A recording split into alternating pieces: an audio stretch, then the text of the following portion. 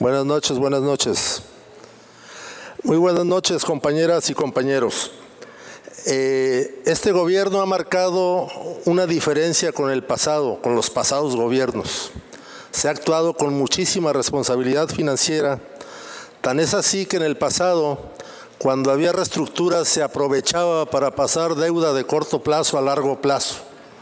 Era una manera de ir encubriendo e incrementando la deuda. Y sin embargo, estas deudas eh, nunca tuvieron un vínculo de el objeto, la causa por la cual se contraían con obra pública productiva o al menos el pueblo de Quintana Roo no sabía en qué se invertía o en qué se invirtieron 19 mil millones de pesos.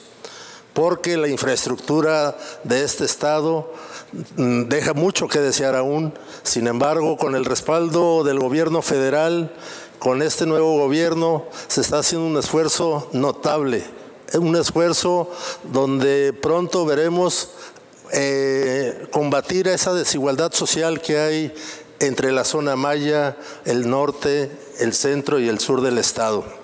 A mí me parece que la manera en cómo se planteó el dictamen para que se apruebe el refinanciamiento y la reestructura es muestra de responsabilidad financiera, es muestra de compromiso con la 4T.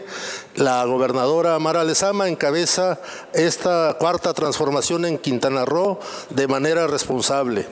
Coincido con lo que comentaron los compañeros que me antecedieron y bueno, este, creo que sí es importante que se haga un ejercicio, yo sé que no hay mucho tiempo a veces para eso, pero un, ejercicio de investigación histórica de qué se empleó, en qué se emplearon esos 19.625 millones de pesos, porque luego vienen eh, esos personajes respetabilísimos al Congreso en las sesiones solemnes, esos exgobernadores que contrajeron esas deudas, vienen con una cara de cinismo que pues solo ellos saben lo que hicieron y lo que dejaron de hacer financieramente con el Estado de Quintana Roo.